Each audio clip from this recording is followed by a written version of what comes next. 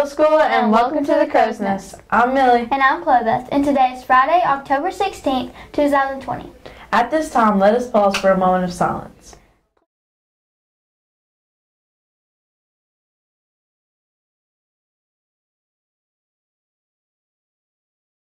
Please stand for the Pledge of Allegiance. Attention, salute, pledge. I pledge allegiance to the flag of the United States of America and to the republic for which it stands, one nation, under God, indivisible, with liberty and justice for all. Our message for today is about improving your attitude. Instead of concentrating on what life brings to you, concentrate on the attitude that you bring to life. Hey kids, today we're going to learn three things every kid needs to know about attitude.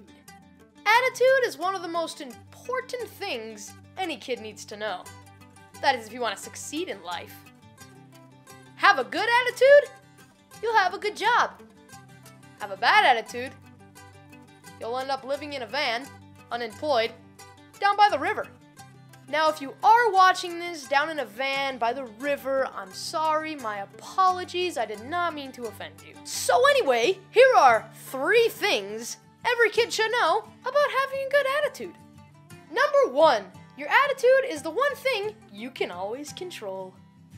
All through life, you have good and bad things happen to you. You can't always control what happens to you, but you can control your attitude. No one else gets to control that. So, maybe you can think about something bad that happened to you and how you responded. One time I was outside playing basketball and I couldn't make. Oh. Anyways, one time I was outside shooting and I couldn't make a shot. I couldn't control that, but I could control my attitude. And that time it wasn't very great. Here's the second thing good attitudes are a habit.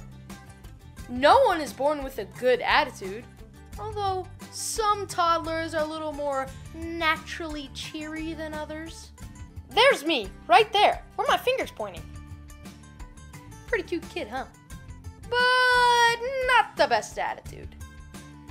Here's a better shot. A little bit older now, having some fun on the swing. As I got older, my attitude got better, but that's because I worked on it. Every grown up that you've met that has a good attitude had to work on it. They had to develop it through practice, just like any habit. Here lies the third thing the attitude you develop as a kid will follow you through life. That's why I'm making this video, so that you can start working on it right now. If you want to move forward in life, start as a kid. Work on your attitude so you don't end up living in a van down by the river. For lunch today, our menu will be hamburger, potato wedges, carrot sticks, baked beans, salad, and an apple. Or you can choose a PB&J grab and go. The WCHS Pirates will face JB Pennington in a away game tonight beginning at 7 p.m. Thanks to everyone who dressed in support of breast cancer awareness today. Now go out tonight and support our Pirates. The annual Winfield Baseball Clothing Sale is currently underway. You should have received an order form from your teacher and may also get them from the office. There is a wide variety of pirate clothing on sale from hats to t-shirts, shorts, sweatshirts, pants, and jackets. Orders will be taken until the 23rd, so get your order in today. Fall makeup pictures will be made for both in-house and virtual students this morning at 10 a.m. If you missed the first photo day or just need yours redone, be sure to go and call today. The Crow's Nest would like to wish a very happy birthday from yesterday to Michaela Purdy and on Saturday to Draven Bowles. Enjoy your special day. That's the view from the Crow's Nest. Have, Have an awesome weekend.